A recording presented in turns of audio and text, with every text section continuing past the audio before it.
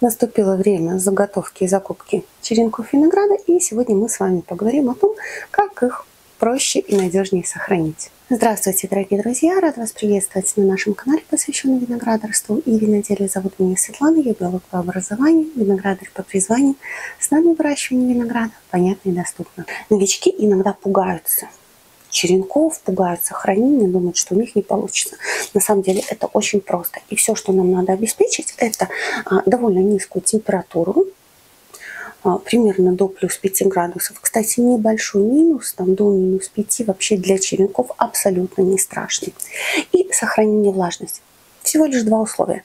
А выбор способов хранения, да, это уже а, на ваш вкус, на ваши возможности. Ну, конечно, мы сегодня поговорим да, о том, а, как лучше всего сохранить. Ну, опять же, что значит лучше? Лучше то, что вам удобнее. И зависит от ваших возможностей и от количества черенков. Если черенков немного, то можно их вот так вот, как у меня здесь он довольно свободно закручен, можно плотно-плотно закрутить в стрейч-пленку, положить в холодильник, и так черенки сохраняются а, вот даже до июня, даже до середины июня, так хранят черенки для прививок они прекраснейше себя чувствуют. А, но если черенков много, то закручивать каждый, ну, такое себе удовольствие. Можно закопать сантиметров 25-30 от поверхности земли, берем вот так пучок, закапываем в землю и все шикарно сохранятся. Единственное, что весной они будут грязные. И а, может быть такое, что когда вы откопаете, там паутинки какие-то, еще что-то, не надо бояться, все прекрасно сохраняется, а, ничем оно там не болеет, все будет замечательно. Можно просто вот, пучок завернуть в газетку, в пакет и в холодильник. А, часто, когда хранят в холодильнике, есть рекомендация, что надо во влажную тряпочку завернуть еще что-то. Мы не рекомендуем у черенка, в принципе, хватает влажности. Нам просто надо ее сохранить. Дополнительно влажность создавать не нужно. А вот для чего мы э, газетку заворачиваем, да, когда кладем в холодильник. В холодильнике довольно влажно. И бывает, что вот эта вот излишняя влага накапливается, иногда может пойти какая-то плесень по черенкам. Э, не надо ее бояться, абсолютно ничего страшного в этом нету. А, когда-то мы рекомендовали ополоснуть в растворе марганцовки, можно даже этого не делать. Протерли сухой тряпочкой, все убрали, в сухую газетку завернули и все нормально. А, можно хранить в погребах в подвалах. Единственное, что там, независимо от влажности, лучше все-таки положить а, в пакет. А, так будет надежнее. Можно положить, опять же, подвалы, погреба слегка увлажненный песок. Вот чуть-чуть на грани вот он почти сухой. Тоже шикарно сохранятся.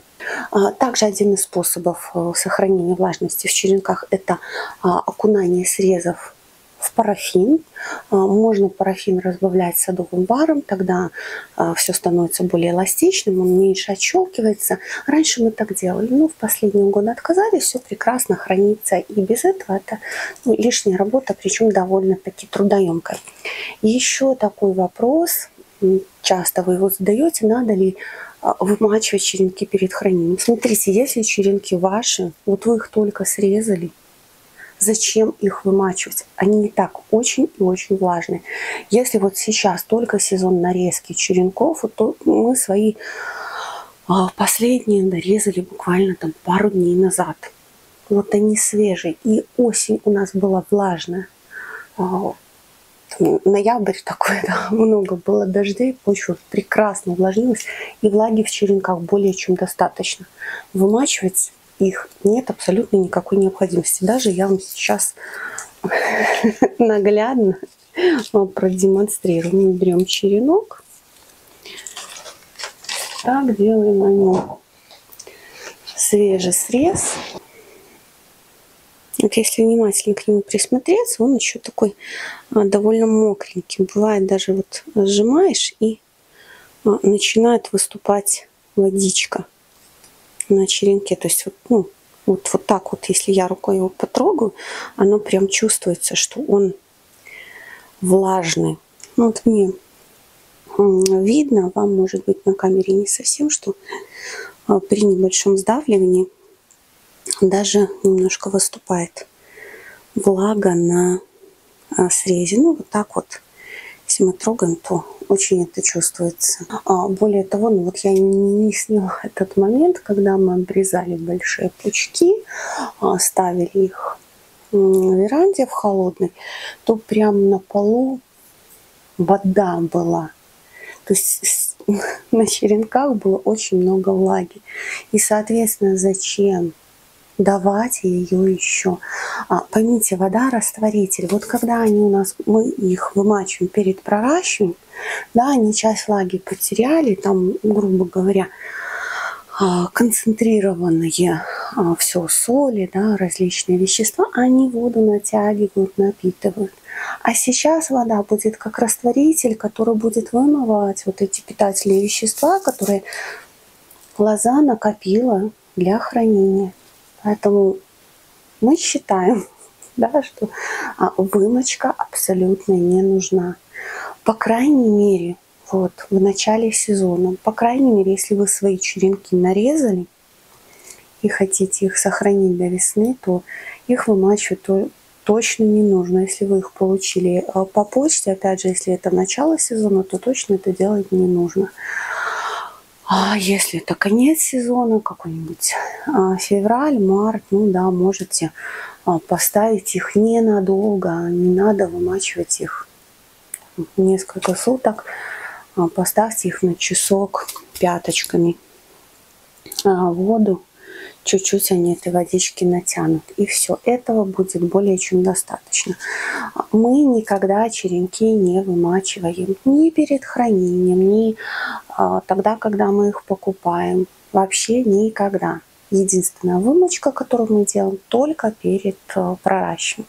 И то в прошлом году я проводила эксперимент и показывала, что длительная вымочка, она тоже может вредить.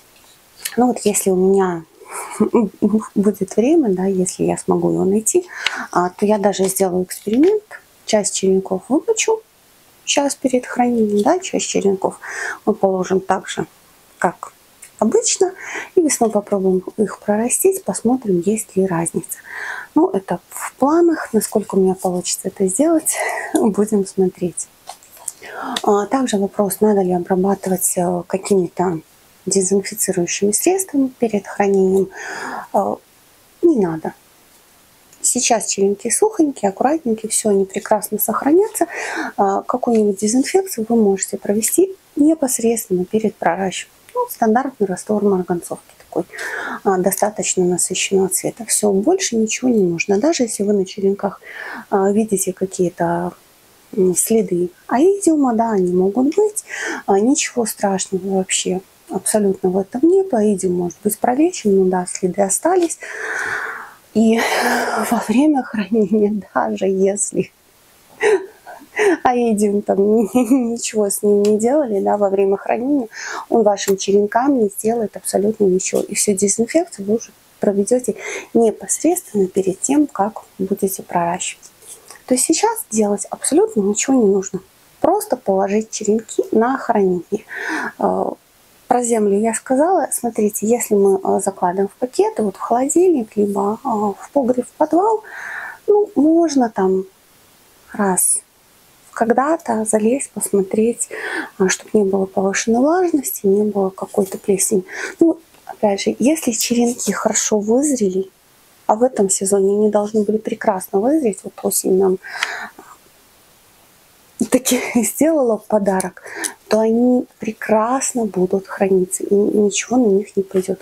Ну, если вдруг заметили какую-то плесень, тряпочка обтерли, а, сухенько переупаковали в другой пакет, и все, ничего страшного в этом нет. Но если очень уж очень боитесь, в растворчике марганцовки буквально прополоснули, и все. Все с ними будет хорошо. Но самое главное, не спешите проращивать, потому что бывает, что у кого-то ручки чешутся прямо с осени. Осенью вот этого точно делать не нужно. Надеюсь, ролик был вам полезен. Большое спасибо за просмотр. Подписывайтесь, ставьте лайки, пишите комментарии. Под видео нажав кнопку еще, ссылка на каталог наших сортов винограда и наши контакты. И до новых встреч!